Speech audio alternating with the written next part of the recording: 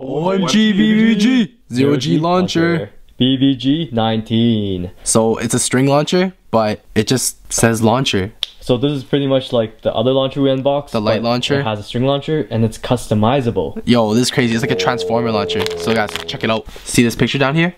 Lots of uh, That- customization with oh your other God. accessories. I'm gonna do that after. downward position. Sick for zero G stadium. So hopefully, yo, definitely could be more powerful than the light launcher and compact launcher. Yep. So But- on the back, uh, it showed like it has the most stars out of all the launchers. So this is like something about like spin power and Yeah. stuff. So that has the most stars. So like obviously compact launcher is like the worst, one one one. Yep. It's kind of sad to look at. Yeah, and Okay. this one's pretty much the best one. So if You know. you guys are gonna be, Buy a new yeah, launcher. buy a new launcher, this is probably the one you would want.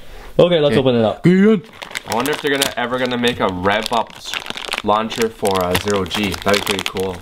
It took them so long to just to get rev up launchers to, to Karatomi, so Uh, and they borrowed it from See. Hasbro. I don't know. So about the same length, I would say, of pole. Still short. So here is all of our zero G launchers. Here you have the standard compact launcher.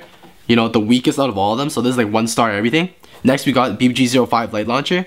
Uh, less customizable than the string launcher, But you but can you can still still add your grip though.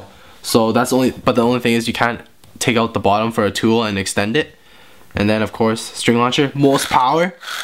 Because string launcher is always the best, you know. We No, don't use rip. blue too. Yeah, it's blue, different color. All right, so with the BBG 19 launcher, like gonna the customize launcher, it. We can customize it. So Battery, William's gonna show you. an extension to f- make it feel weighted. Yeah. Gonna put it into here, and then from here, I am going to slide it in, and bam. Whoops, gotta take off the cap first. So now you have a two-way grip launcher. So you can hold it either this way, or this way, or this way, or whichever way you like, guys. Whichever whatever. way. So best launcher you could buy is gonna be the string launcher. So you know, don't waste your money getting the light launcher. This is really no point. So BBG 19, very versatile launcher, lots of attachment.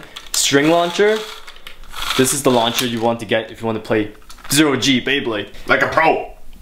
And as always, Guyun!